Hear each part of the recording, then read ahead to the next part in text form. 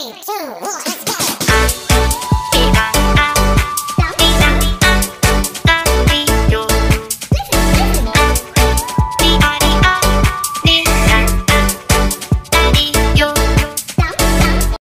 Po kung malikot yung camera.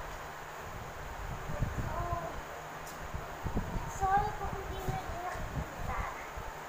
Tatagal ko na. One.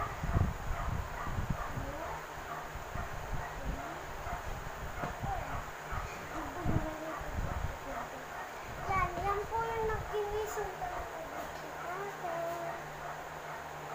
Lagyan na po natin.